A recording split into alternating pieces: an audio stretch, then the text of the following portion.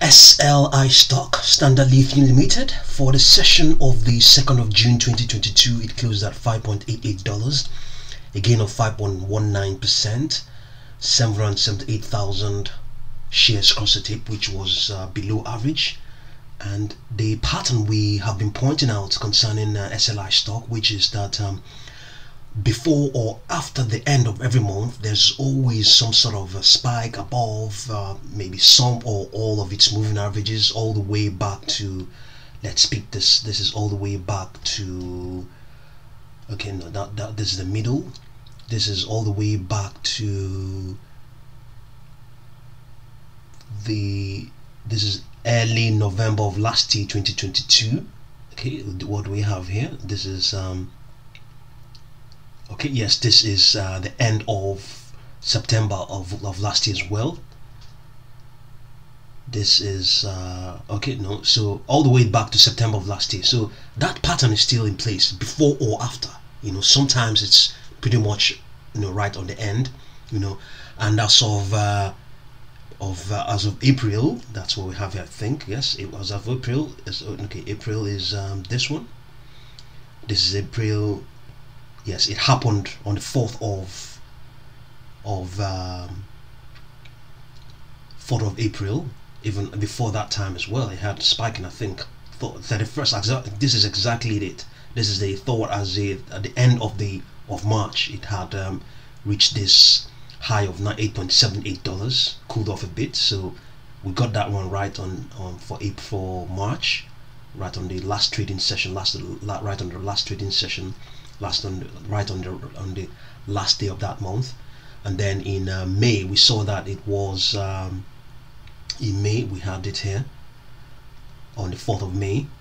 So that pattern is still very much in place you know even though it's not it never really up that absolutely you know, sometimes it is before sometimes it is after afterwards you know. But we have also seen that uh, since that April rally that took it to 9 point uh, one five dollars. It, it has it, it has been printing. It started to print lower lows and lower highs.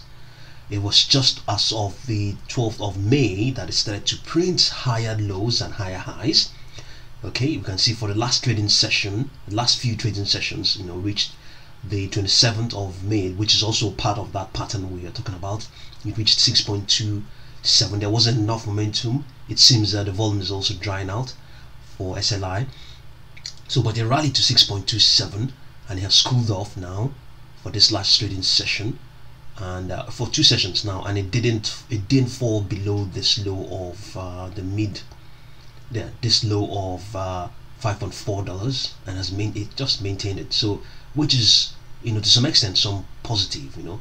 It fell below its 10 and 20 day moving averages but for this last trading session it is now back above those 10 and 20 day moving averages. So well uh, what could that possibly mean? You know, um, it's still pretty much consolidating, I think. You know, but um, it's the momentum is not there. The interest is not really there as such. It's really not there as such. You know, and we haven't really found any news that um, any fresh news as such. There are, there are a couple of them.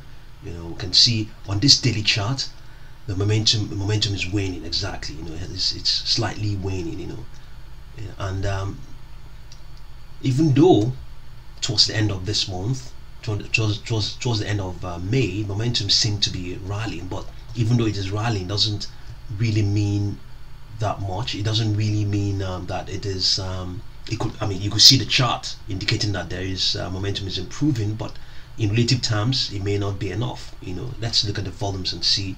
You can see the volumes are not really that high.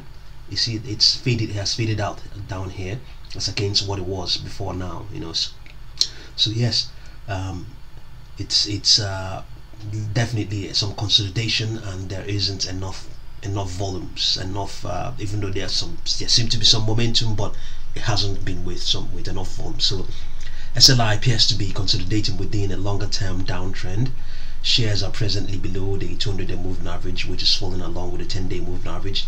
However, the average directional directional index or ADX is below 20 indicating that the shares have exhibited sideways movement recently and it's also lagging the S&P 500 momentum for SLI as measured by 14 period slow stochastic oscillator is waning this means that investors are less aggressive in their recent purchases and may even be taking profits in, in positions but at lower prices. Yes, that's pretty much the case. And the volume for that last trading session, this the 2nd of June 2022, was lighter than usual, trading 771,000 shares versus an average of uh, 1.91 million shares per day during the last 12 months. The on-balance volume indicator shows that longer term selling pressure has given way to near term accumulation by traders. So I think um, the reason for that uh, near term accumulation is uh, largely down to this slight push up we're seeing of late, you know, in the in the trend. You can see that, you know, from the from the 20, from the 12th of May, it has, which was uh, pretty much the low of, you know, probably the low of this year. It is retesting the low of this year. So it, going by that, you can see that some some buyers are definitely easily buying, yes, but largely largely the momentum is uh, still not not uh, strong. When, when you when you when you um, compile uh, what it what it has been before, so. Uh, given all of those things, we are still maintaining our target of $9.34 for SLI stock, and I will continue to update you concerning SLI stock. And uh, thank you very much for watching this video.